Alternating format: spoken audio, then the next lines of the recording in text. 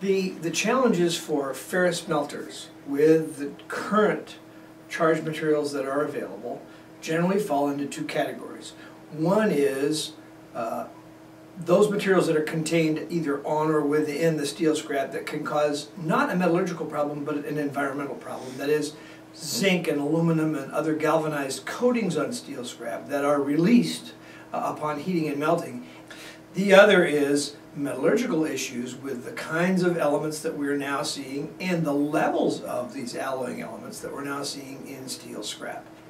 All manufacturing is always looking for an improvement, a way to increase, decrease cost, but, but not sacrifice properties. So what we see today is increases in elements like vanadium, Typically in the past, we would never see much over 0.02 vanadium. Now we're seeing levels at 0.05 and higher. And vanadium is a pretty strong carbide stabilizing element, both in gray and ductile iron. Number two, molybdenum. Molybdenum is a great hardenability element. It allows one to have stronger heat-treated structures. And in some gray irons, we do alloy with molybdenum, and in some ductile irons. However, we don't generally get as high as we can see when we start using more and more steel scrap that contains 0.25 to 0.4% molybdenum. Titanium, uh, a known graphite-shaped active element, uh, previously not really included in many steel scraps, now is in the territory of 0.05% in some steel scraps as well. In gray irons, that titanium tends to round the graphite flake and reduce tensile strength in gray cast iron. In ductile iron, the titanium is a very graphite-shaped active element and makes the production of nice round spheroids in ductile iron almost impossible. In fact, the early CG iron, compacted graphite iron irons, were made with an intentional addition of titanium to inhibit that graphite shape uh, formation. Boron. Boron is being added to more and more steels for bake hardenability and for other strength improvements.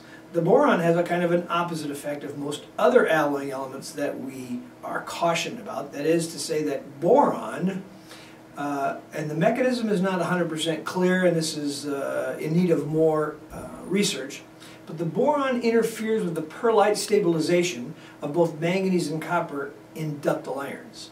Uh, we know that the the, the boron uh, segregates somewhere near the graphite nodules, and it is theorized that the boron and copper perhaps form some kind of a copper borate, neutralizing copper's effect to inhibit uh, solid state movement of carbon from the matrix into graphite nodules. Uh, we're starting to see more levels of niobium, and there's been very little, if any, research work done on levels of niobium in either gray or ductile iron of 0.03, 0.02, which is very possible to see with the levels of niobium that we see in some steels today. The other challenge is that we're seeing combinations of alloying elements and higher levels of alloying elements. And, and as we advance in the steel world to these uh, complex phases, we're seeing more combinations of alloys.